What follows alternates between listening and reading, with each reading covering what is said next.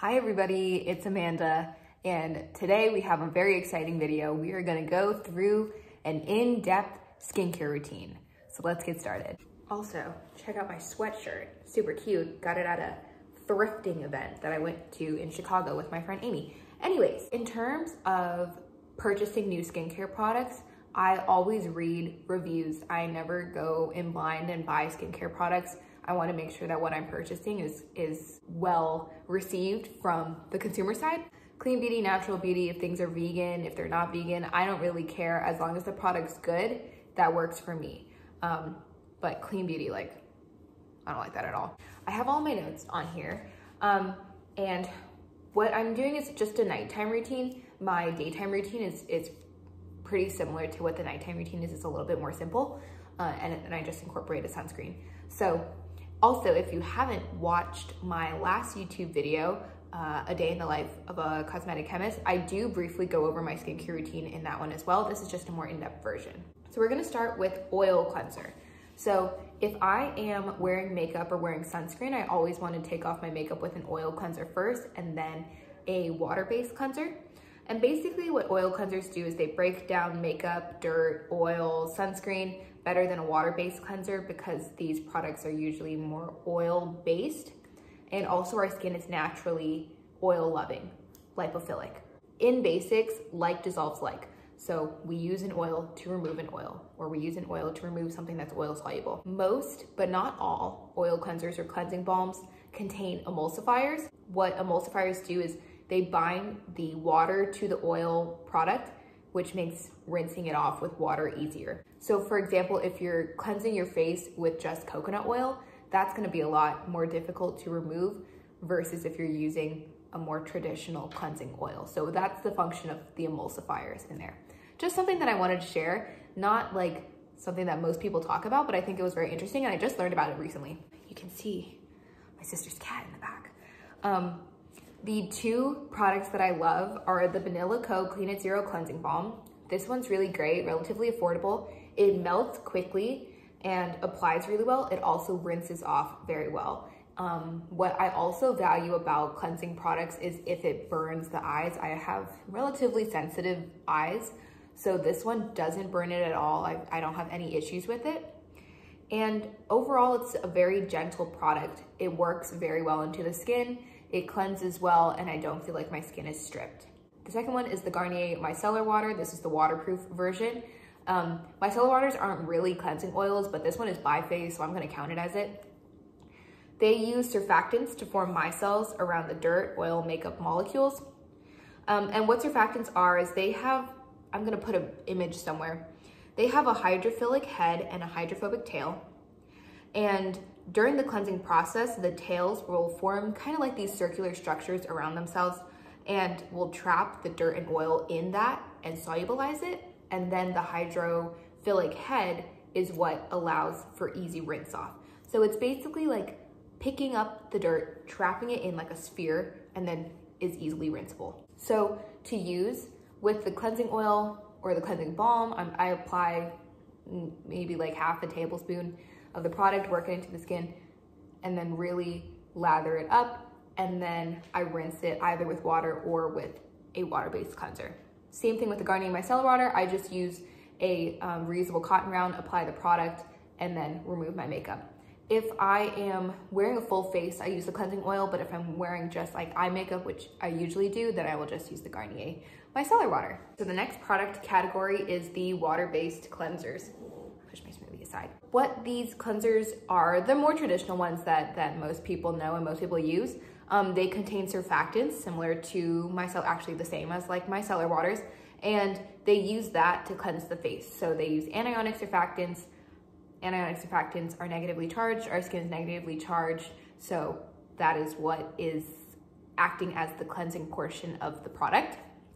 I also have, I have a debunking bad skincare ingredients video, um, and I talk about sulfates there. So if you wanna learn a little bit more about like micellization, you can take it on over, over there. The purpose of the water-based cleanser, if you're using it as an oil and water cleanser duo, is the water-based cleanser is just basically getting rid of all of the excess oil-based cleanser that you have. So you use the oil as the primary, the water as the secondary. The two products that I love are the Korres Greek Yogurt Foaming Cream Cleanser. This one has a great lather. What I look for in a cleanser is if it has a good lather. Having a product that foams better or lathers better than another one doesn't necessarily mean that you're getting a better cleanse. It just means that there is more foam stabilizers and such. Um, but that's my personal preference. I like to be able to like feel that foam. So it's very gentle as well. I've said very so much so far. It's gentle. I don't feel like it's stripping the skin at all. Uh, overall, I feel like my skin remains rather hydrated when I'm like out of the shower or out of cleansing just the face. The thing that I don't like about this product is the, the claim of yogurt, the claim of probiotics. Probiotics are living bacteria, and in order to claim probiotics, according to the FDA, is that you have to prove that there are live bacteria. Um, and a lot of companies really take advantage of that because the FDA doesn't really regulate cosmetics like they do drugs. If your product, if your cosmetic product claims probiotics, like, no, they don't. Like, they don't have probiotics in there. When you say that you have like yogurt or yogurt powder or fermented product in there, it's really just a postbiotic or a prebiotic, something that can like potentially encourage more probiotic development. Um, so that's just something that's just like a side note that I didn't, I don't really like is, is that claiming probiotics when there aren't actually probiotics.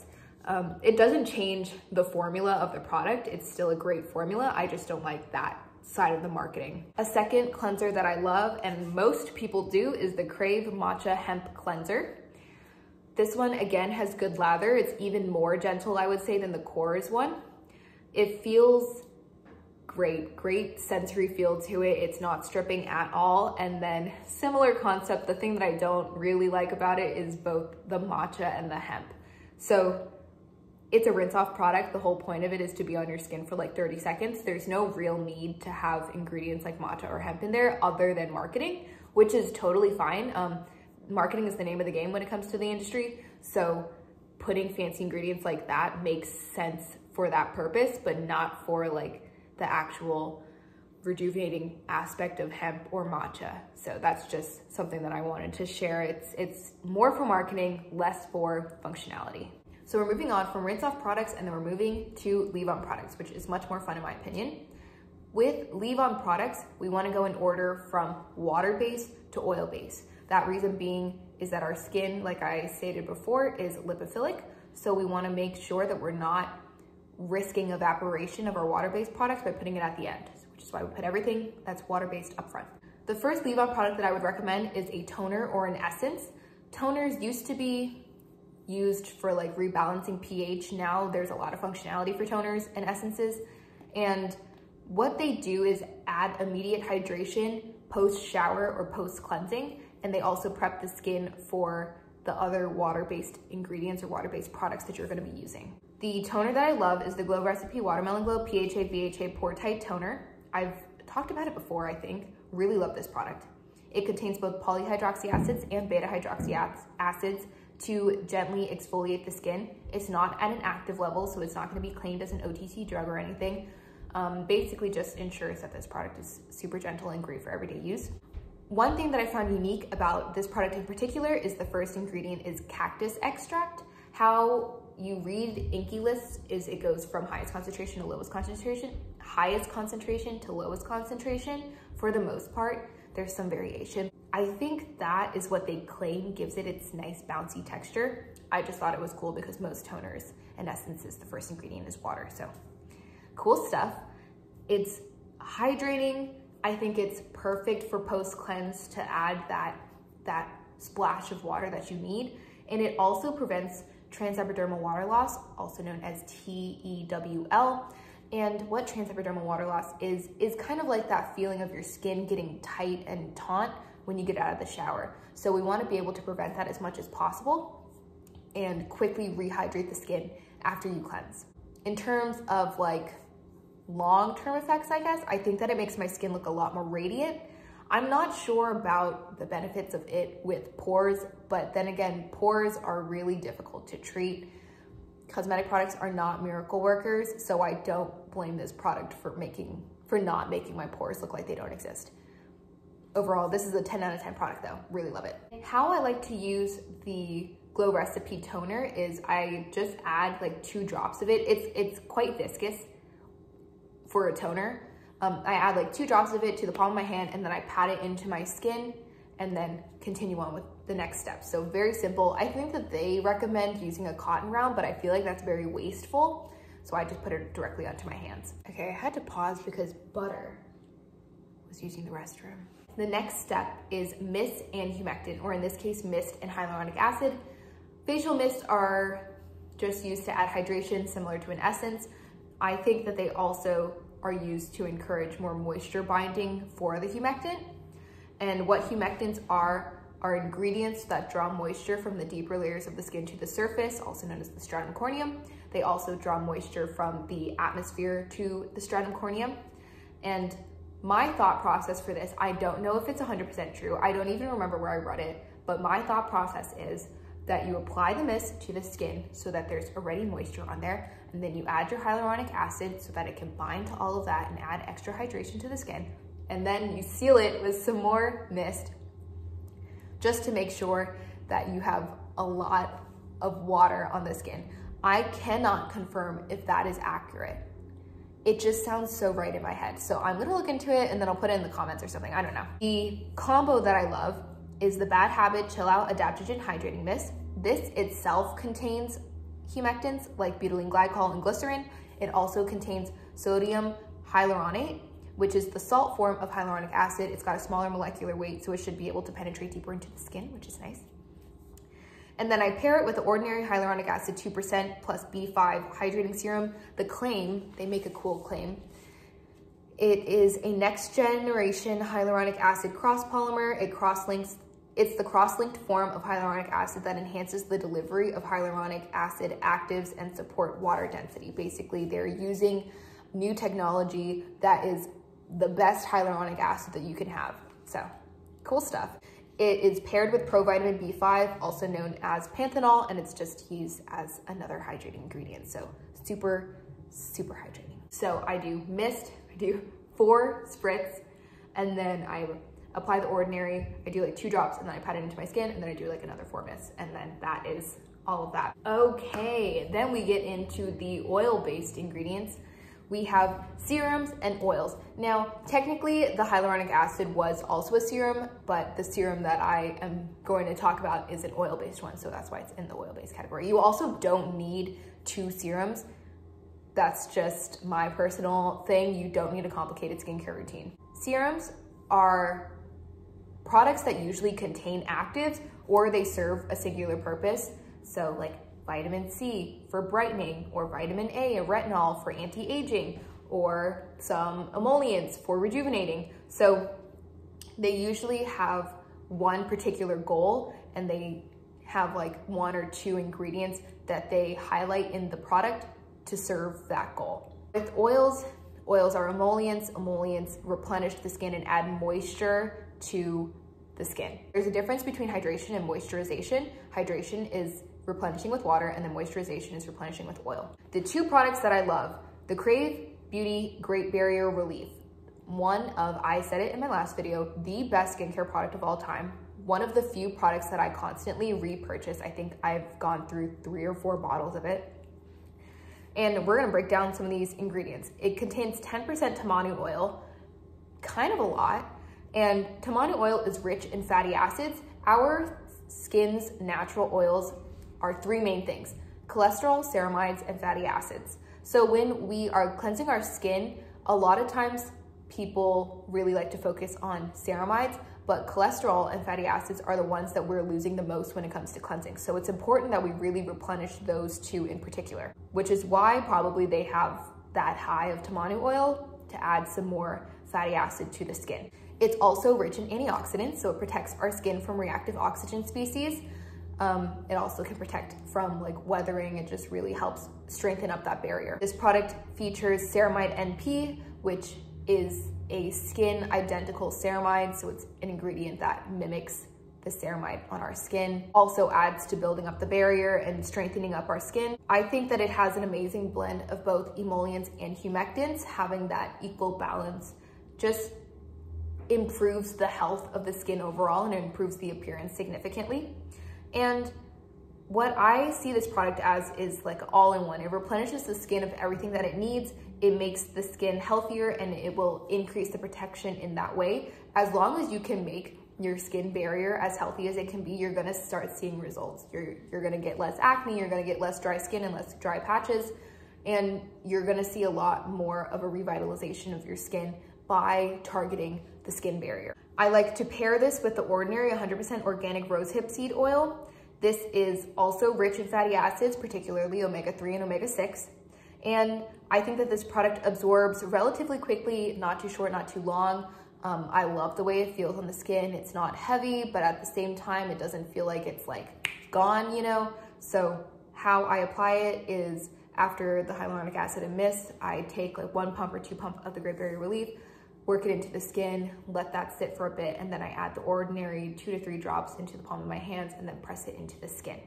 And that adds amazing moisture. Okay, and then we're on to the last product for the face, which is moisturizer. What I personally look for in a moisturizer is something that is rich and has some long lasting moisturization and hydration.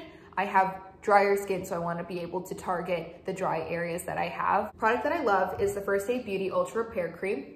The highlight ingredients are squalane, shea butter, colloidal oatmeal, allantoin, and ceramide NP. Great list that they have, and that's not even all of it. They are all fantastic moisturization ingredients. I talked about colloidal oatmeal in my last video, how it is used as an anti-inflammatory ingredient. So if you want to check that portion out, it's really short, but, but very interesting. And I enjoyed learning about that. Another ingredient that they have is dimethicone, which is a silicone, and it basically just makes the product feel good. It's more for a sensory purpose and, and it leaves the product feeling luxurious. Um, I know some people have mixed feelings on silicones. I personally think that they're totally fine. I don't even remember if I talked about silicones in my debunking video, but if I did, if I did, you, you should check it out, I think. I think I did talk about it though. Um, another thing that I like about this product, other than the texture, it's got an amazing texture. Um, it has a lot of structuring ingredients in there, so it really is able to hold its shape and feel almost like a body butter with without feeling like incredibly heavy. The very last step of my skincare routine is lip balm. I have to lather on lip balm before I go to sleep. If I wake up with crusty lips, it bothers me. What I look for, one criteria, it's gotta be thick. I love a really thick, like ointment feeling lip balm. And what's the key ingredient for that? Petroleum. The two lip balms that I love, Aquaphor. Cannot go wrong with Aquaphor pure petroleum jelly. It's amazing, long lasting. Everyone should have a bottle or a tube of Aquaphor. The next one is the Glossier Balm Dotcom. I don't care what flavor it is. Right now I have the original one, um, but I've tried the rose and the fig. They're all good. I, it's also petroleum based and I think that the texture is great. Super moisturizing for the lips. Okay, and that is all for the video. I do wanna add that even though I have provided what works for me, if there is a product that is working for you and you don't feel like you need to change it, there is no need to change it to fit what other people are saying. So this is kind of like maybe a little saucy, but if you find that something like clean and clear or the Neutrogena grapefruit wash works for you, then stick to it. If it if it's doing good for you, then you don't need to change something. So I just wanted to share that. Um, hopefully you got something out of this video, whether it just be learning about a, a, product category or a particular ingredient, or you're gonna look into one of the products that I recommend, that is totally perfect for me. So I hope you enjoy and let me know your thoughts about this. Also, let me know your thoughts. I am thinking of doing a skincare routine video for men. I feel like men are often neglected in the skincare conversation because a lot of cosmetics are targeted towards women, but let me know your thoughts. I wanna know if this is something that maybe you're interested in. So yeah, hope you enjoy. Thank you for watching. If you watched the whole thing, very kind of you. I know I talk a lot. Um, and let me know what else you would like to see. Have a great day. Bye-bye.